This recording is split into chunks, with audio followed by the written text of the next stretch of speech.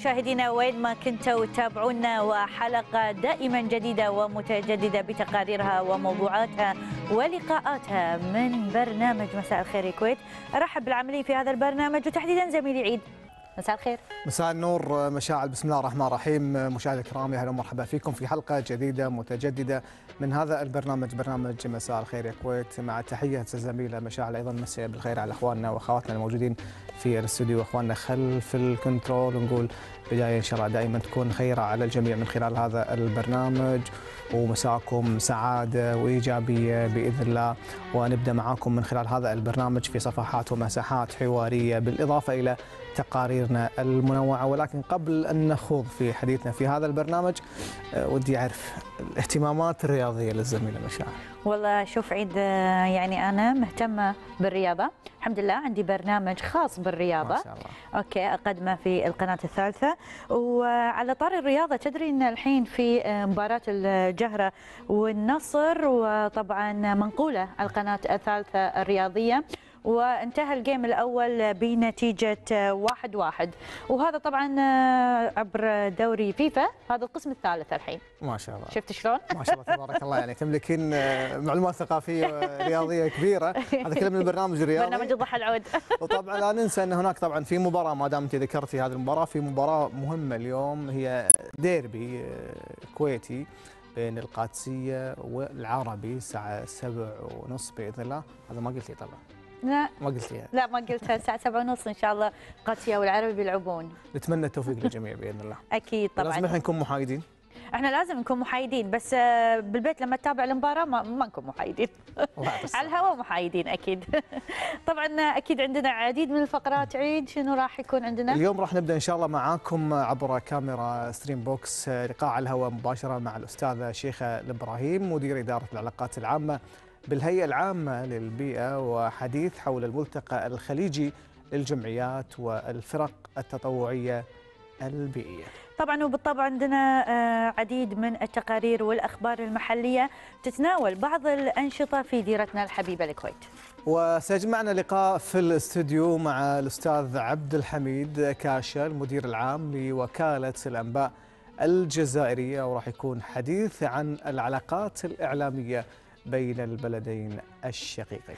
أيضا عيد طبعا من ضيوف آه، الاستديو راح آه، يسرنا أن نلتقي اليوم مع الأستاذة سبيتشا غازي زنكي مسؤولة اللجنة الإعلامية والعلاقات العامة للمؤتمر آه، العالمي الثاني للعلوم وهندسة الحاسوب بس بعد هذا الفاصل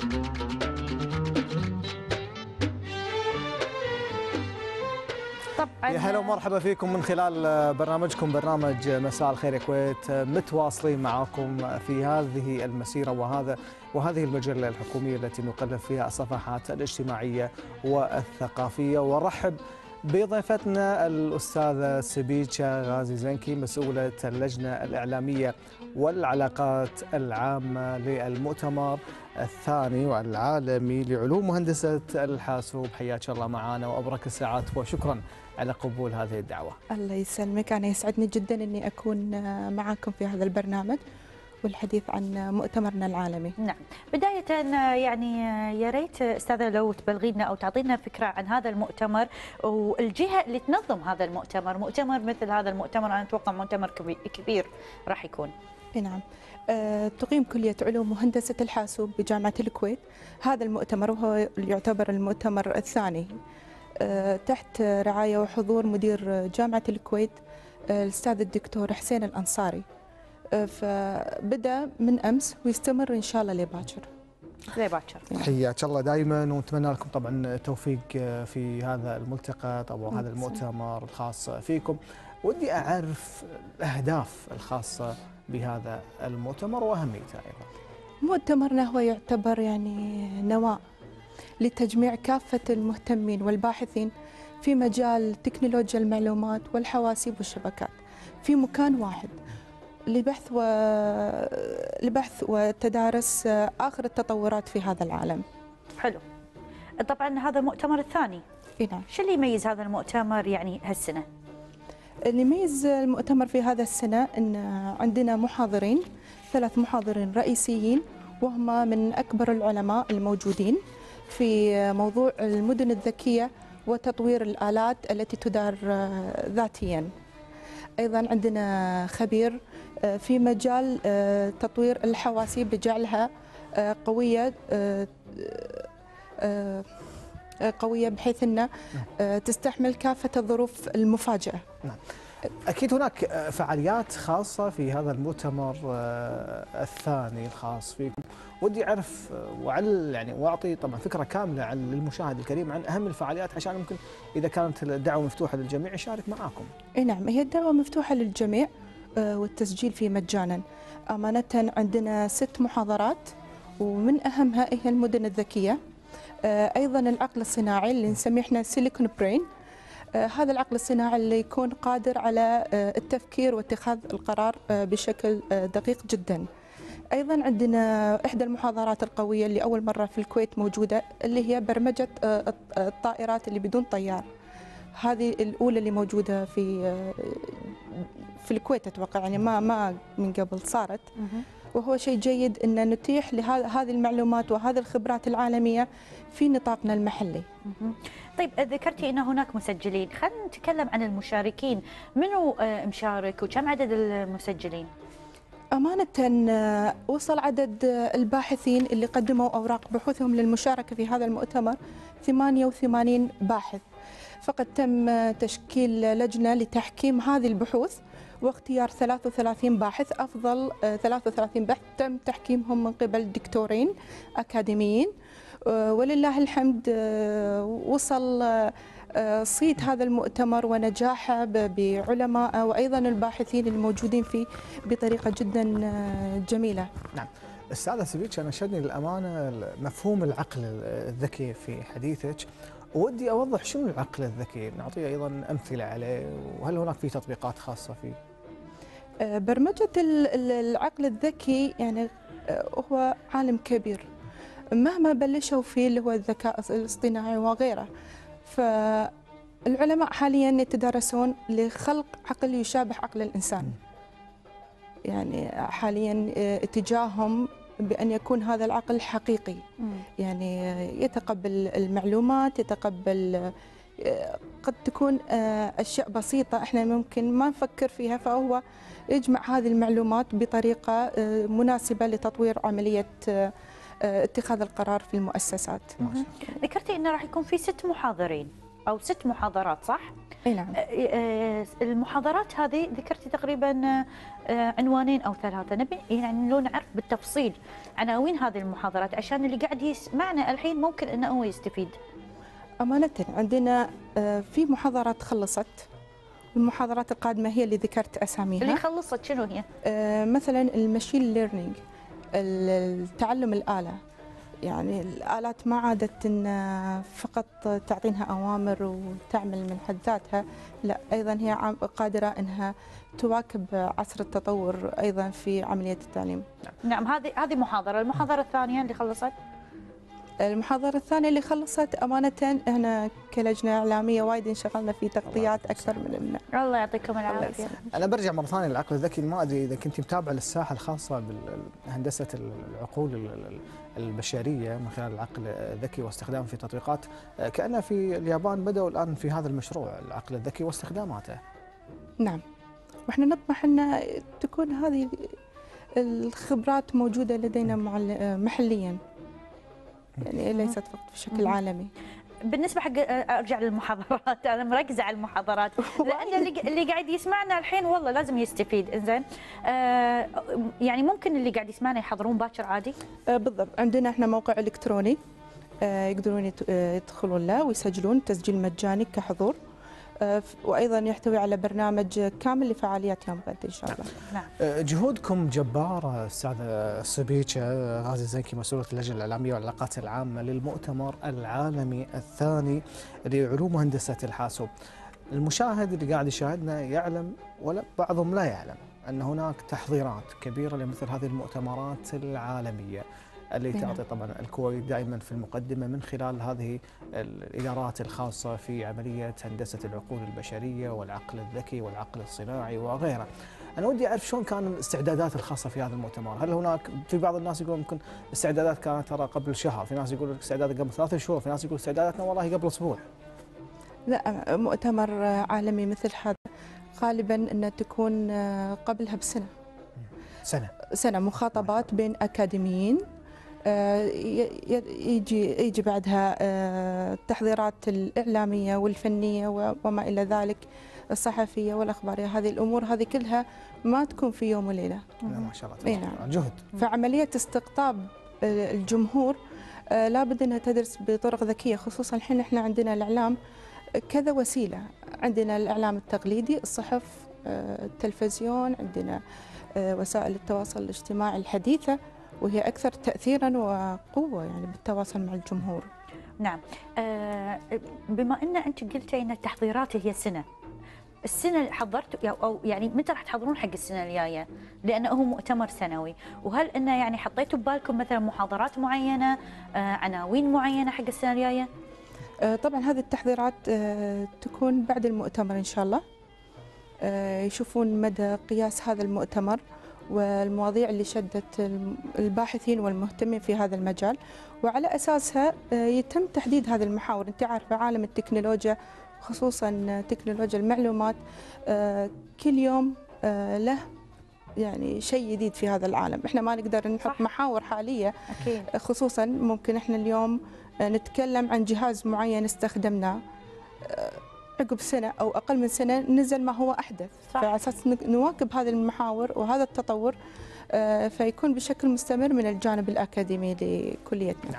أستاذة سبيتشا بصفتكم طبعا مسؤوله اللجنه الإعلامية والعلاقات العامة أعلم بأن الحمل ثقيل دائما من خلال هذا العمل في التنسيق والإدارة بالإضافة إلى استضافة العديد من يعني المفكرين والمحاضرين على مستوى عالي جدا حتى يكونون في هذا المؤتمر والمؤتمر الثاني العالمي لعلوم وهندسة آه، الحاسوب.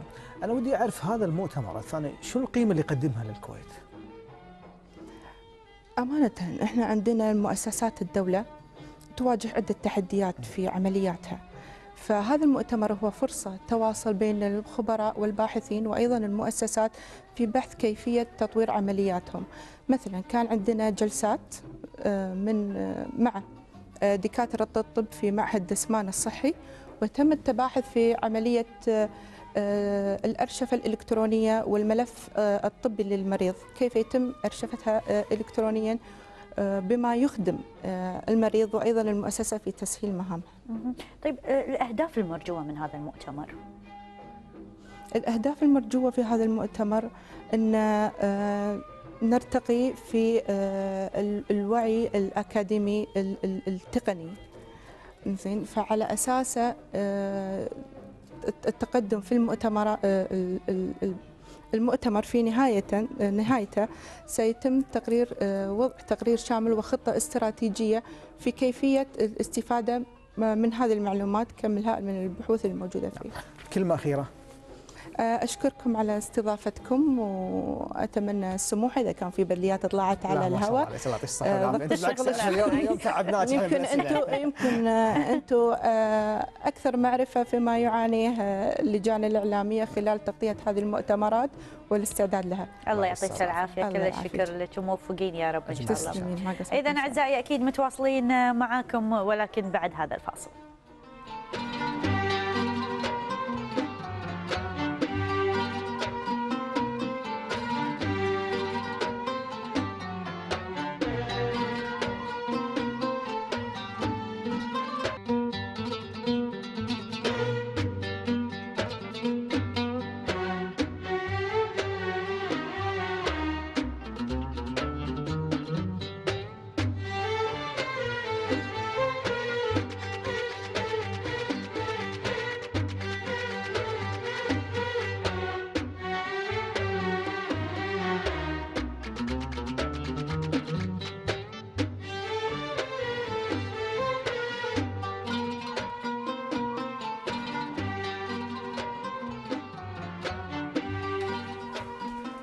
أهلا ومرحبا فيكم من خلال برنامجكم برنامج مساء الخير يا كويت. ونبدأ معاكم فقرة جديدة وهي فقرة أخبار الديرة. وننتقل إلى الزاوية الأخرى من الاستوديو نتعرف من خلال هذا البرنامج على الكثير من الأخبار المحلية. وهذه الفقرة تقدم الكثير من النشاطات الخاصة في هذا البرنامج.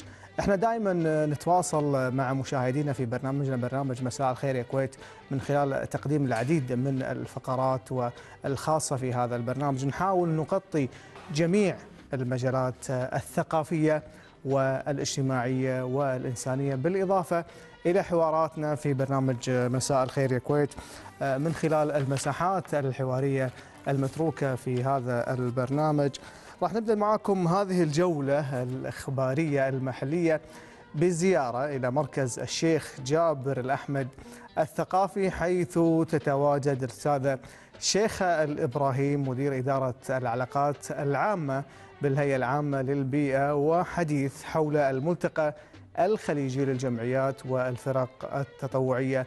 البيئية. مساء الخير أستاذة شيخة وحياك الله معنا من خلال البرنامج. مساء الخير يا كويت. وبداية نتكلم عن الملتقى الخليجي للجمعيات والفرق التطوعية.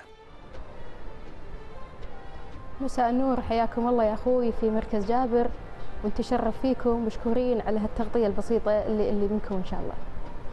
نعم أستاذة شيخة نبدأ معاك بفكرة عن هذا الملتقى. إي نعم. فكرة عن هذا الملتقى طبعا هو كان توجه من سعادة الشيخ عبد الله أحمد الحمود الصباح في إقامة هذا الملتقى وجمع القائمين والمهتمين في العمل التطوعي وتوحيد جهودهم وتنميتها وتطويرها لمعالجة القضايا البيئية المشتركة ما بين الكويت ودول مجلس التعاون. نعم.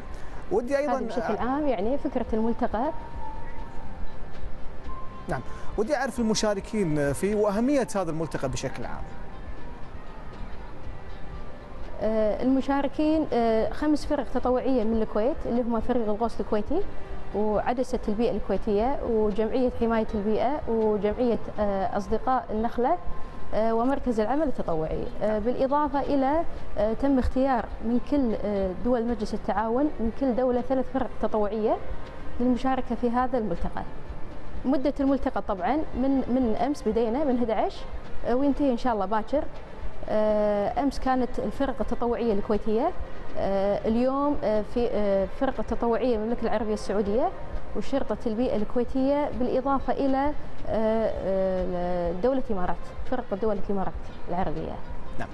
أستاذ الشيخ الابراهيم مدير إدارة العلاقات العامة بالهيئة العامة للبيئة أهمية العمل التطوعي في مجال البيئة ودي أعرف. أخوي إحنا إحنا يعني تم تم التنسيق لهذا الملتقى لعدة أسباب لتبادل الخبرات بين أفراد الفرق التطوعية وتشجيع المجتمع وأفراد المجتمع للعمل التطوعي للحفاظ على البيئة طبعا وللتنميه المستدامة لنا طبعا الأجيال القادمه. أستاذ شيخ أنت موجوده الآن في مركز شيخ جابر الثقافي. ودي أعرف شلون الأجواء العامة بشكل عام. والله جدا سعداء في استقبال الضيوف الوفود. يعني هم على قولتهم يعني هذا بلدهم الثاني. والحمد لله لقى صدى كبير ونجاح بإذن الله. بكرة نخلص وتطلع التوصيات وترفع إلى إلى رئيس مجلس الإدارة. بالتعاون مع رؤساء الفرق التطوعية الكويتية والخليجية وراح يكون وهو طبعا يعتبر الملتقى الأول لكن يعني ليس الأخير يعني إن شاء الله منها التوصيات تنفذ ويكون في ملتقى ثاني وثالث ويكون على طول مستمرين لرفع الشأن البيئي طبعا في دولة الكويت ودول مجلس التعاون. إن شاء الله. ودي أعرف أيضا الفعاليات. إحنا الآن على الهواء وانت على الهواء مباشرة عشان أطلع الجمهور في مثل هذه الفعاليات لهذه الملتقيات. أهم الفعاليات المصاحبة حاليا. المصاحبة حاليا اليوم تم زيارتهم إلى الهيئة العامة للبيئة وخذيناهم في tour بسيط في مركز المختبرات اللي عندنا بعدها في مركز ال GIS وتم الاطلاع على أهم الأعمال اللي تقوم فيها الهيئه العامه للبيئه بعدها طلعنا رحنا المركز العلمي هديناهم المركز العلمي وهم أخذوا tour وعن أهم أعمال المركز العلمي وغدا إن شاء الله زيارة إلى محمية الجهرة. نعم. الاستاذ الشيخ إبراهيم مدير إدارة العلاقات العامة بالهيئة العامة للبيئة.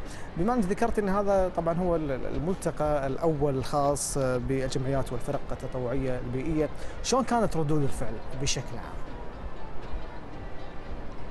الكل الحمد لله استجاب. آه، وبالعكس إحنا ما غطينا ترى جميع الفرق التطوعية. إحنا خذينا المشهرين وأهم الفرق التطوعية القديمة. لكن آه، صار في إقبال وايد كبير في فرق تطوعية مو قصرا فيهم بالأمانة لكن ما أسعفنا الوقت. يعني ثلاثة أيام على على مدى ثلاثة أيام من الأربع نبدي للساعه 8 وايد فرق حابين يشاركون. فبإذن الله حطيناهم للسنة القادمة أو اللي بعدها تكون لها ترتيبات خاصة. لهم وأيضا دول الخليج. يعني الكل كان آه، مستعد ومرحب بالفكرة. يعطيك الصحة والعافية. كلمة أخيرة. عسى الله يسلمك. آه، مشكورين وما قصرتوا على هالتغطيه الإعلامية وعلى فرص إتاحة الفرصة حقنا لإبراز دور الهيئة آه، والهيئة العامة للبيئة حريصة جدا على التعاون ودعم الفرق التطوعية الكويتية والخليجية. ويعطيكم العافية. يعافيك إن شاء الله وشكرا لك ونتمنى إن شاء الله التوفيق للجميع ولا زلنا متواصلين معاكم من خلال برنامجكم برنامج مساء الخير الكويت وفقرة أخبار الديرة وآخر الموضوعات حيث احتفل بافتتاح معرض كنوز إسلامية بمجموعة السيد عبد الخالق النوري بمتحف الكويت الوطني المزيد في سياق التقرير التالي.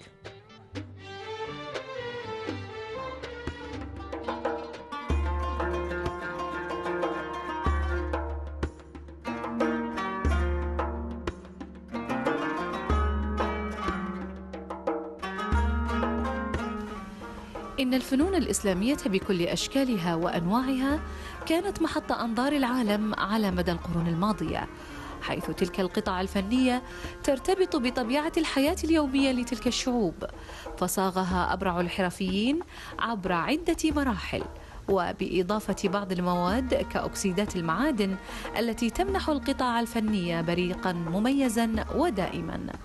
اليوم وفي عصرنا الحالي تحديدا. أصبحت هذه القطع الفنية من الكنوز القيمة والتي يسعى لها الكثير لاقتنائها.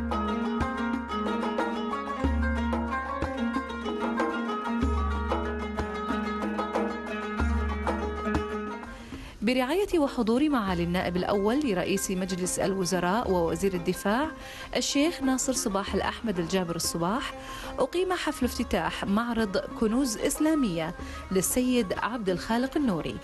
خلال فعاليات الحفل اطلع معالي النائب الأول لرئيس مجلس الوزراء ووزير الدفاع الشيخ ناصر صباح الأحمد الجابر الصباح على القطع الفنية لمجموعة السيد عبد الخالق النوري والتي تميزت بأندر القطع الفنية لتكون شاهدا على مهارة ودقة الحرفيين الإسلاميين في عدد من العصور.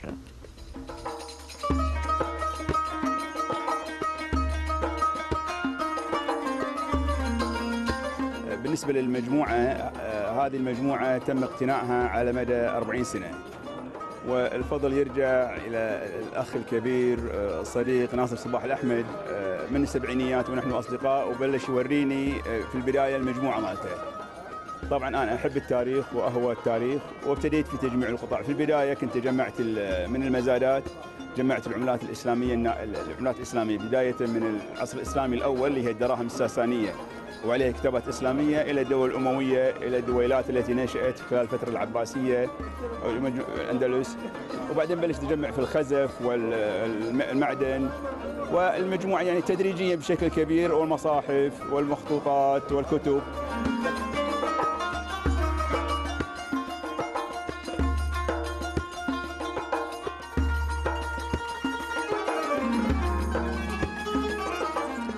إذا كان هذا معرض خاص بكنوز إسلامية وكان يتطرق إلى العديد من الأمور الخاصة بالتاريخ الإسلامي ودائما يقولون من حوى التاريخ في صدره أضاف عمرا إلى عمره.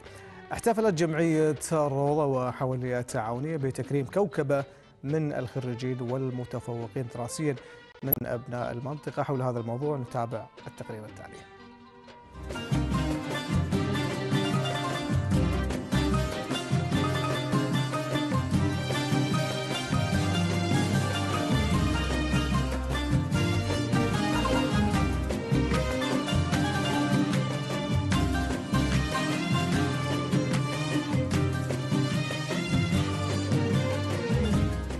إن الشباب هم الثروة الحقيقية الدائمة للوطن فهم اللبنة الأساسية لاستمرار نهوض العلم والمعرفة من خلال ما يقدمونه من خدمات تسهم في بناء خطط التنمية المستقبلية في دولة الكويت. احتفالا وتكريما للطلبة المتفوقين الذين يعتبرون مثالا يحتذى به في كل زمان ومكان فهم من سيكملون مسيرة النهضة والتنمية في دولة الكويت. أقيم حفل تكريم الطلبة المتفوقين دراسيا وذلك بحضور معالي نائب رئيس مجلس الوزراء ووزير الدولة لشؤون مجلس الوزراء أنس الصالح والتي نظمته جمعية الروضة وحول التعاونية.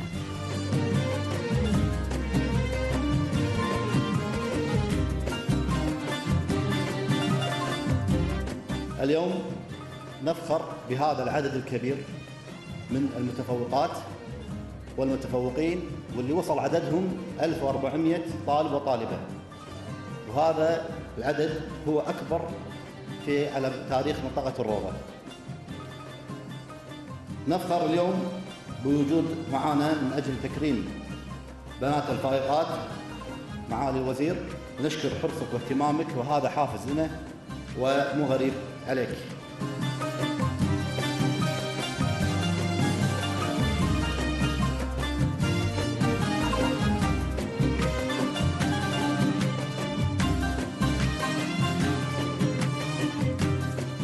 هذا ونظمت جمعية الروضة وحول التعاونية حفلا آخر تحت شعار جدارية التفوق تكريما لعدد من الطالبات المتفوقات دراسيا بعدد من مدارس المنطقة.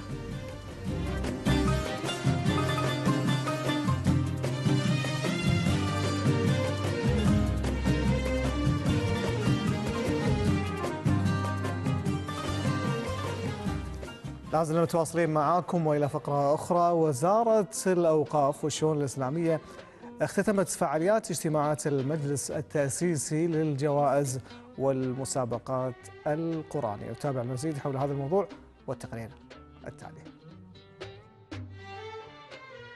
في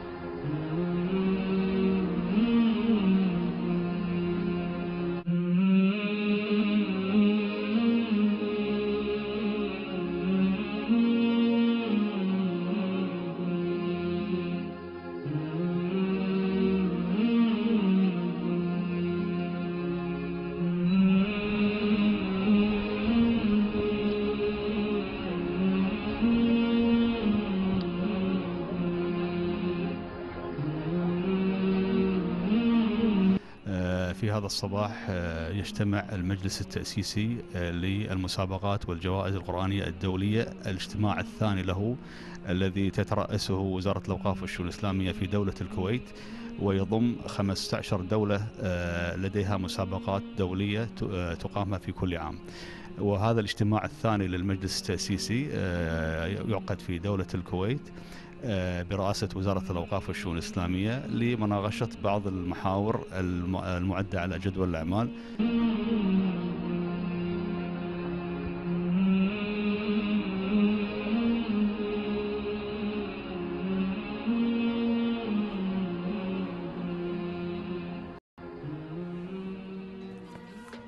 ونختم هذه الباقة من الأخبار المحلية. بعدد من الأنشطة التربوية في المدارس والمناطق التعليمية.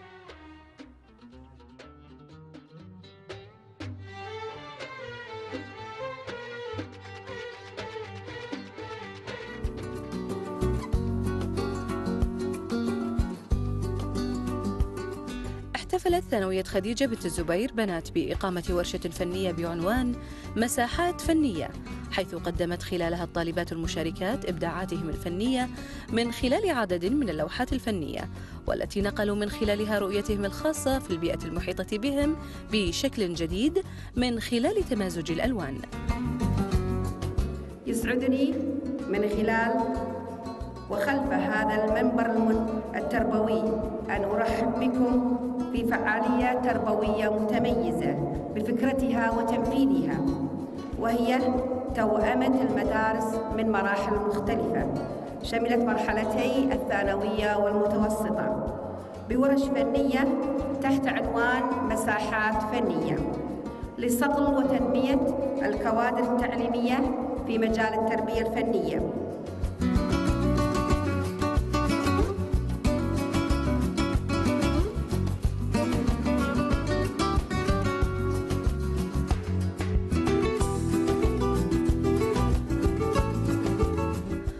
وضمن أنشطة وفعاليات وزارة التربية أقامت ثانوية فريعة بنات حفلا لتكريم الطلبة المتفوقين في مسابقة أولمبياد العلوم والذين حققوا مراكز متقدمة على مستوى مدارس دولة الكويت.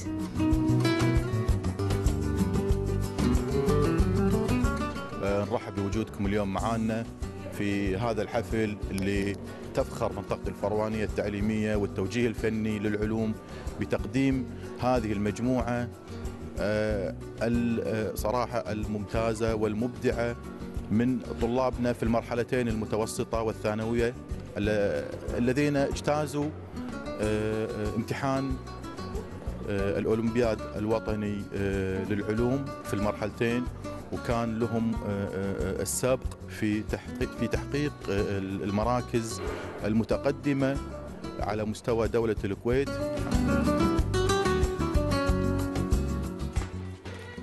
بهذا نكون قد وصلنا معاكم إلى نهاية هذه الفقرة فقرة أخبار الديرة. ولكن هناك عودة لمتابعة مواد وفقرات برنامج مساء الخير الكويت ولكن بعد هذا الفاصل.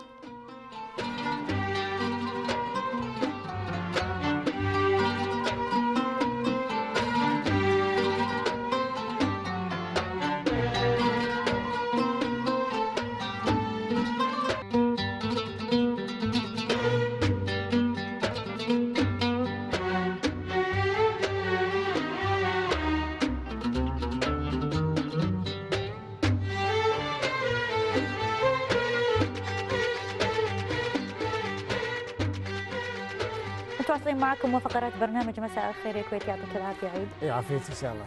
إذا أعزائي التوعية والإرشاد الصحي والثقافة الغذائية تجنب حدوث الكثير من الأمراض. نعم يا مشاعل وللتوعية الصحية مكان دائم ومهم في هذا البرنامج. من خلال الخارطة الخاصة في برنامجنا نحاول ننوع في طبعا الفقرات والتقارير. نشوف هذا التقرير ونرجع لكم إن شاء الله.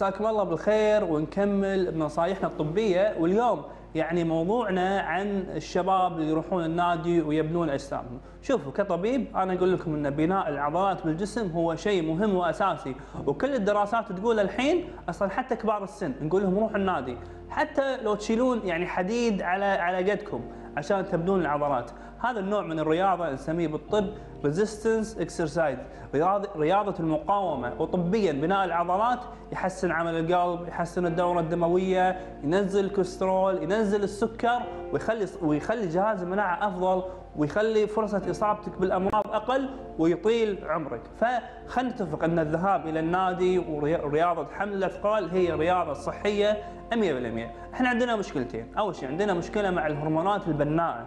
الهرمونات البناءه اللي ياخذونها الشباب استعجالا. للنتائج أنا أقول لكم كطبيب ما لازم أحد ياخذ هرمونات بناءه ليش؟ هذه الهرمونات صحيح إنها تكبر العضلات الخارجية البايو راح يكبر عندك بس اللي ما تعرفه إنه راح يكبر العضلات الإحشائية راح يكبر القلب. راح يكبر الكبد وكل هذه راح تسبب لك مشاكل وايد كبيرة بالمستقبل. فالهرمونات البناءة ما نأخذها. الشق الثاني هرمونات عائلة التستوستيرون. هذه طبعا هم تبني العضلات لكن مشكلتها ان تسبب مشاكل بالعقم والإنجاب. وياما إحنا بالعيادات شفنا يعني مشاكل عقم وإنجاب آه، بسبه هذه الهرمونات. ف خلي نخلي الهرمونات على كتر ما ناخذها إحنا كأطباء ترى ما عندنا مشكلة تأخذون بروتين صافي بجرعة تلائم وزنك عشان تبني العضلات. مع قول ذلك القاعدة إن البروتين تأخذه من الأكل تكثر البروتين من أكلك. لكن كاطباء أقول لكم ماكو مشكلة تأخذ بروتين صافي بجرعة بسيطة ملائمة لجسمك بس المشكلة الكبيره وين؟ بالهرمونات البناءة. وهذه المشكلة يعني وايد كبيرة. يعني روحوا عند أي نادي وشوفوا تكرمون الزبالة مالت النادي وايد إبر وايد عقاقير. يا يا شباب هذه صحتكم. فحافظوا عليها. هذا قلبك هذا كليتك هذا كبدك. فحافظ عليه. رياضة الأثقال رياضة مفيدة جدا. لا تخربونها الله يرضى عليكم بهذه الأشياء. والله يحفظنا ويحفظكم.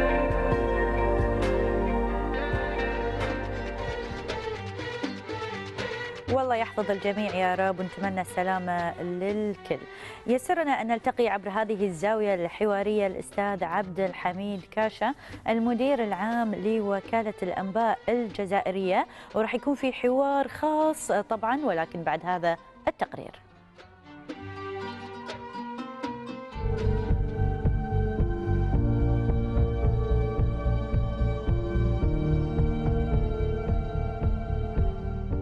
لا شك أيضا أن العولمة ليست مجرد عملية اقتصادية وتكنولوجية فالعالم المعولم يعني كذلك زيادة التفاعل بين الشعوب وحرية تداول المعلومات والترابط بين الثقافات. ويتمثل التحدي المحوري الذي يواجه العالم المعاصر في القدرة على التواصل بغض النظر عن الاختلافات الثقافية وهنا يأتي دور وسائل الإعلام التي بإمكانها أن تطلع بحق بمهمة الوسيط في حفز الوعي العالمي.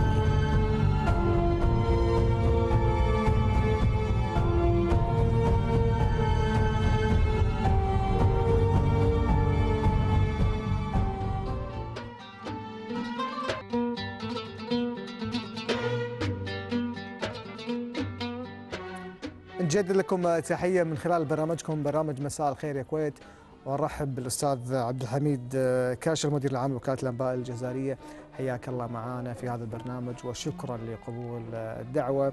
ونبدأ معك أستاذ عبد الحميد. تكلم عن هذه الزيارة. شكرا لاستضافتي ومساء الخير الكويت أنا في الكويت لأول مرة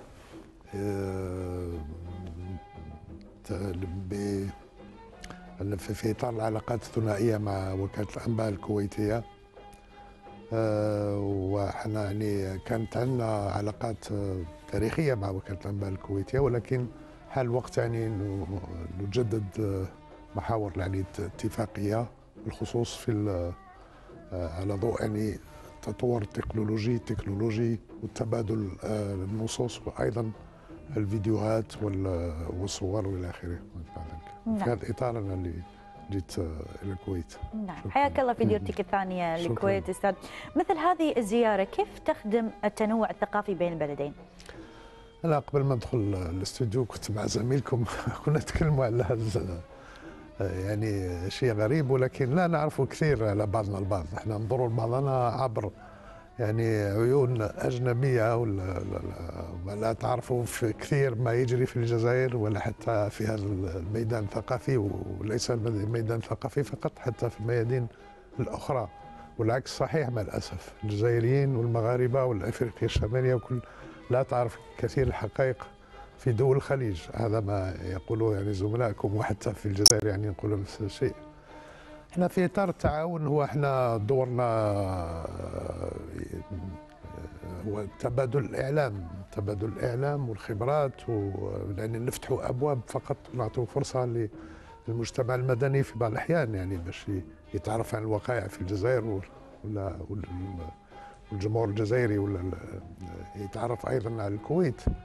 ولكن هذا يستجيب أن العلاقات الثنائية الجيدة سياسيا واقتصاديا يعني تصبح أيضا آه، تتحسن في هذه الميادين يعني من الناحيه الثقافية من الناحيه الأدبية كما تقولون وغيرها. ولكن يبدو أن المشوار طويل يعني. إحنا لا- لا تعرف كثير عن الجزائر آه، وهذا لاحظناه وكل مرة نلاحظوه وكل ما ال- ال- الزوار ال- اللي يجيو في في في الوفود رسمية يكتشفوا الجزائر ويقولون صراحة إنهم لم يكونوا يتصورون الجزائر. هكا فيها التنوع في هذا المستوى فيها الثقافة إلى غيرها. والعكس صحيح أيضا. بالنسبة لأغلبية الرأي العام في ال- في المغرب وفي شمال أفريقيا يرون أن البلدان الخليج هي عبارة عن أموال بترول ومشاكل خاصة والواقع وال- الأقلية فقط. اللي تعرف أن الدول تطورت وتغيرت. وراها في تطور دائم كما أن الدول يعني شمال إفريقيا والمغرب والجزائر بالخصوص اللي هي بلادي وأنا اعرفها أكثر تغيرت وتغيرت كثير في كل النواحي يعني. نعم، أستاذ عبد الحميد بما أنك ذكرت طبعا أن هذه أول زيارتي. زيارة للكويت. نعم. ودي أعرف انطباعاتك عن هذه الزيارة. شلون شفت الكويت؟ يعني آه، ما أقدرش نقول لك تفاجأت لأن كنت محضرت نفسي وتكلمت مع زملائي قبل المجيء إلى إلى الكويت. لا ما أحلى علاقتي كنت مرتاح جيدا يعني زملائي في وكالة الأنباء الكويتية عندهم علاقات خاصة بوكالة الأنباء الجزائرية. وأنا أنا كصحفي منذ أكثر من 35 سنة في وكالة الأنباء من زمن طويل يعني عندنا علاقات وتقدير لوكالة الأنباء كنا. هي كانت في الحقيقة من أبرز وكالات دول العرب يعني منذ منذ سنوات مش يعني شيء جديد. لكن أنا على الكويت عبر ما ما كانوا يقولوا لي زملائي كنت جيت عندي بضعة ساعات فقط تجولنا شوية في الكويت. وستكون لي أيضا فرصة غدا أن نلتقي بناس آخرين قطاعات أخرى خارج يعني وكالة الأنباء وتجول وتوعدت يعني نعاود نرجع مرة خلال لإجازة على الأقل أسبوع باش واحد يتعرف ما يكتفيش ببضعة ساعات و نعم. إحنا ندوا بهذه الاحكام المسبقة ما أقدرش نعطيك رايي بعد أربع ساعات في في الكويت ولكن ال- ال- الإحساس العام هو أنه إيجابي ويعني وأحس بالأخوية بين بين الحمد لله. والاستقبال كان جيد جدا من طرف كل الناس يعني مش غير وكالة الأنباء. نعم. كل من نلتقيتهم يعني. الحمد لله. نعم. أستاذ عبد الحميد الجزائر طبيعة أدبية وثقافية وتاريخية سياحية. خلينا نتكلم عن الجزائر. الجزائر آه، أنتم ما عندناش الوقت كثير باش نتكلموا عن الجزائر. هي الجزائر أصبحت يعني من البلدان العربية اللي أكثر آه، غناء ثقافي وهذا مش معروف كثير. يعني أنتم يهمكم الجانب هذا الثقافي والأدبي. آه، كثيرا ما يعني يكتشفوه ال- ال- العرب في في الخارج خارج الجزائر. يعني هذا عجز حتى الجزائريين يعني ما يصدروش أيضا ما ينتج. كان نشاط ثقافي هام بالخصوص الأجيال الجديدة يعني الشبان اللي أقل من 30 سنة آه، في في في, في الأدب في, في, في الاداء ربما تعرفوا إلا بعض المغنيين المشهورين. في. ولكن كاين أشياء كثيرة كاين أشياء تراثية يعني يحيلوها مثلا كاين قصائد اللي عندهم أكثر من آه، خمس قرون يعني ما زالت تتداول في البلد معروفة وتتجدد والشبان يعني يحيلوها كاين المسرح ثاني عنده حركة تجديد السينما الكتابة الأدب إلى آخره. وهذا مش معروف يعني في الحقيقة. ومش عكس ما يقال آه، في البلدان مش غير باللغة الفرنسية. حتى اللغة الثانية في الجزائر هي اللغة الأمازيغية كاين مئات كتب تنشر سنويا مئات في السنوات الأخيرة على كل حال الحركه الجديده كاين مئات باللغة ال- إحنا عندنا في الجزائر كما تعلمون لغ- لغتين العربية والأمازيغية. وطنية ورسمية يعني الله يعطيك الصحة والعافية أستاذ. عبد الحميد لازم نزورها. الجزائر. طبيعي ضروري. إحنا بلد فتحوا جميل جدا كوكالات انباء البيبان واسعه يعني فتحوهم نظريا على الأقل كتابيا وننتظر يكون تبادل يعني حقيقي بين إن شاء إن شاء الله بإذن أهل الله. نشكر طبعا تواجدك معنا في هذا البرنامج برنامج مساء الخير شويت ونتمنى لكم طبعا آه، التوفيق في هذه الزيارة وتكون آه، سعيد فيها بإذن الله. آه، ولا زلنا متواصلين معكم من خلال برنامجكم برنامج مساء الخير. الكويت للشباب أهمية كبيرة في تقدم وبناء وتوطي- وتطوير الأوطان نعم. أكيد وهنا وعبر برنامج مساء الخير يا كويت نستعرض بصفة شبه يومية إنجازات الشباب في كل الميادين. خلينا نشوف هذا التقرير ونرجع.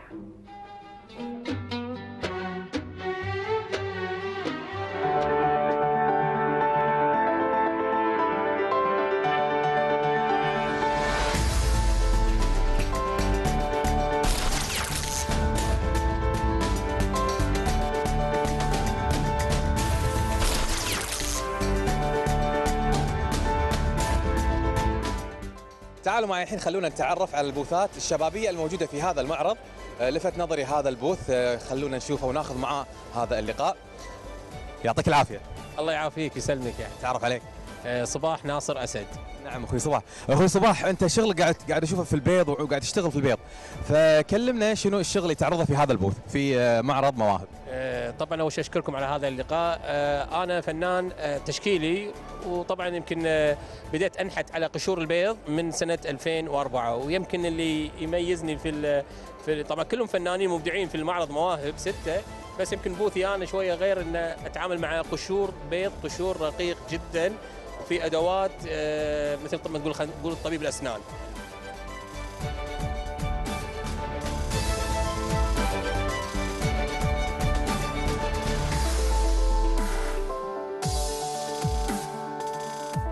وننتقل معاكم الحين متابعينا حق بوث ثاني آه، مع أحد المشاركين آه، يعطيك العافية. الله يعافيك.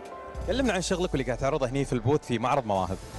بشكل عام شغلية تشكيل مختلف المواد للوصول إلى الأعمال الفنية. آه، بغض النظر سواء كانت ريسايكل أو إذا كان آه، مواد أولية. آه، بشكل عام مشاركتي مواهب هذه مو أول مرة تقريبا الثالثة أو الرابعة.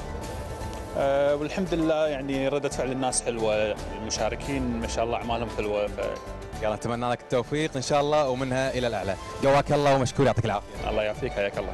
سلام خليكم معنا ما زلنا مستمرين في معرض مواهب وننتقل الحين حق بوث ثاني مع الشباب الكويتي الموجود في هذا المعرض. خليكم معنا.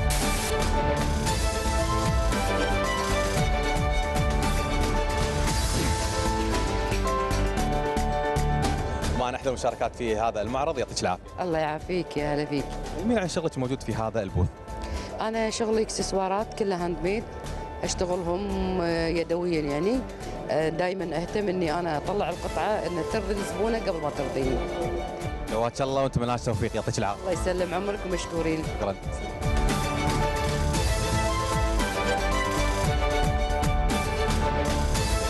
الحين بروح بعد بوث ثاني من بوث معرض مواهب شبابية. قاعد أشوف الحين في هني عندي بنت قاعدة ترسم. شكلها فنانة. تعالوا معي خلينا نتعرف عليها. قواك الله. الله يقويك. آه، قاعد أشوف قاعد ترسمين اللوحة هذه. عندك لوحات وايد حلوة ومميزة ما شاء الله. كلمينا عن شغلك ومشاركتك في معرض مواهب. أنا بديت عمري 11 سنة وهذا رابع سنة أش- أشارك فيها بمواهب وشاركت بعدة معارض. منها من المدرسة ومواهب. قواك الله نتمنى لك التوفيق. وطبعا خلفي صورة آه، الشيخ آه، صباح آه، الأحمد الجابر الصباح أمير دولة الكويت. حفظه الله ورعاه. قواك الله والشغل وايد حلو ومبدعه نتمنى لك التوفيق. الله يقويك شكرا لك. شكرا.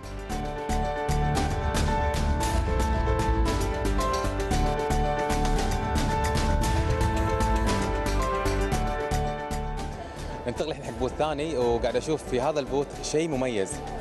شاب كويتي عنده موهبة مميزة. خلونا نتعرف عليه وعلى شغله. يعطيك العافية. يعافيك يبا حياك الله. حبيبي والنعم كلمنا عن شغلك المميز. أنا قاعد أشوف في لوحات قاعد تشب ليت لكن بطريقة جمالية وايد حلوة. فشنو شغلك؟ آه، أول شيء الفكرة كانت إن نجيب صورة نستفيد منها الصبح وبالليل. آه، بالصبح عادي تشوفها لوحة عادية وبالليل تقدر تشب الليت وتستفيد منها. إنها تكون اباجوره ولا صورة عادية. وتعطيها حياة حق الصورة ومثل ما تشوفون. يعطيك العافية واتمنى لك التوفيق إن شاء الله. راسي شكرا أستاذ تسلم ما قصرت.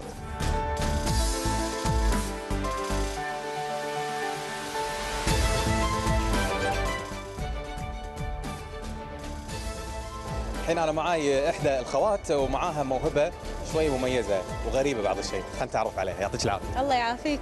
كلمينا عن موهبتك ومشاركتك في هذا المعرض. آه، أول شيء اسمي فاطمة رمضان آه، فنانة أشتغل بالخزف. آه، صار لي من 2009 قاعدة أشتغل. آه، وأساسا آه، أشتغل على النباتات والزرع والورد.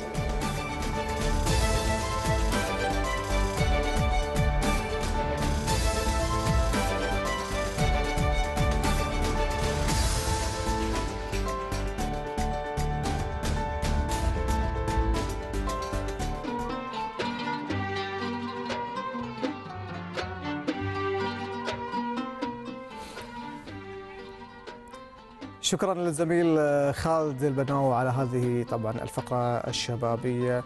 بعد نكون قد وصلنا معاكم إلى ختام فقرة وبرنامج مساء الخير الكويت بشكل عام. في أمان الله. والسلام عليكم ورحمة الله وبركاته. أكيد باكر راح نلتقي معاكم نفس الموعد في برنامج مساء الخير يا كويت من الست لغاية السبع. شكرا لكم. مع السلامة.